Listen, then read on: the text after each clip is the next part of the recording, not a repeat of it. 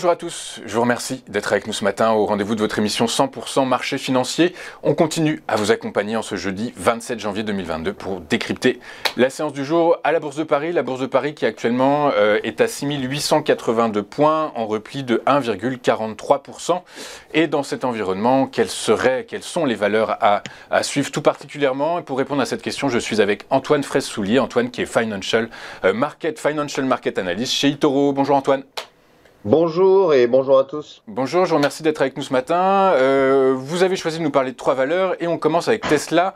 Tesla qui a publié, euh, qui a publié ses comptes pour l'exercice 2021 euh, et qui a également vu sa note de crédit remonter par Moody's, l'agence de notation estimant que le constructeur va conserver sa position de leader sur le marché des véhicules électriques tout en accélérant la montée en cadence de sa production et en améliorant sa profitabilité et ses marges.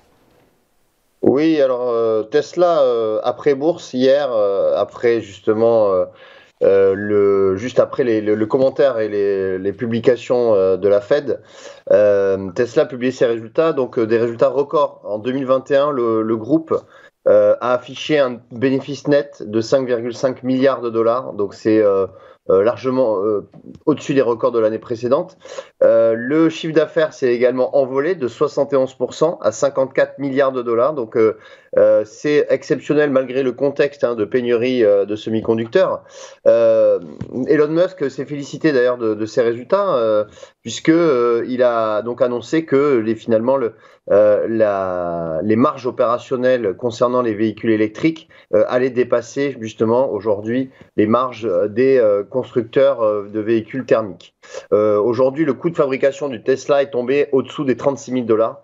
Donc euh, c'est exceptionnel en termes de, marge. et ce, malgré, justement, comme je le disais, la pénurie de semi-conducteurs, parce que Elon Musk avait indiqué les, lors du trimestre précédent que Tesla avait contourné une partie du problème en utilisant des modèles de puces différents et en adaptant ses logiciels. Mais là, Elon Musk a reconnu que euh, ces usines ne fonctionnaient pas euh, à leur capacité maximale pendant plusieurs trimestres. Euh, d'où aussi le fait que donc, Tesla subit la crise eh des, des semi-conducteurs. alors, étant donné que Tesla a publié après bourse, on n'a pas le, cours d'ouverture, hein, bien sûr, après ces résultats qui sont excellents. On voit que justement Tesla est en baisse depuis le début de l'année de, de, plus de plus de 10%. Mais euh, hier, le, titre a rebondi sur le, point pivot majeur hein, qui se situe aux alentours des 900 dollars.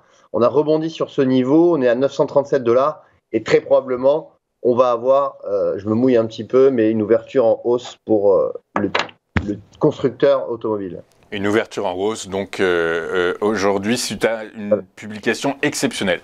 De Tesla, du coup, quels seraient les niveaux de résistance et de support que vous avez identifiés sur Tesla, Antoine? Alors, euh, effectivement, euh, le niveau de support se situe, euh, comme je disais, au point pivot à 890 dollars. C'est vraiment le, niveau à surveiller. Si on, venait à clôturer au-dessous, on pourrait aller rejoindre facilement les 800.